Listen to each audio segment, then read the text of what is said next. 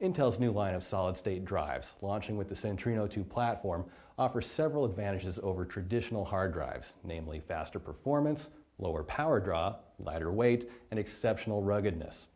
Instead of magnetic platters, solid-state drives generally use bank after bank of non-volatile NAND flash memory. There are no platters, so there's no spin-up time, which means you can kiss most of those read and write latencies goodbye.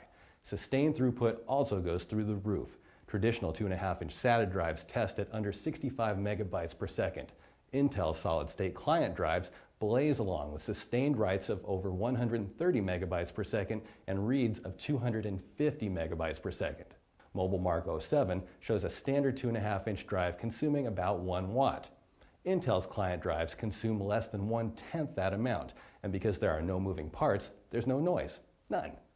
Better yet, lower power draw means longer battery life in notebooks. The first round of Intel client drives comes in 80 gigabytes and 160 gigabyte capacities, featuring a 1.2 million hour MTBF and 1500 G shock rating. That's equivalent to the shock of a 27 foot drop. Today, there's no question. You pay a premium for solid state storage technology. But for customers who need that extra level of performance and dependability, you can't beat Intel's client drives for Centrino 2 platforms.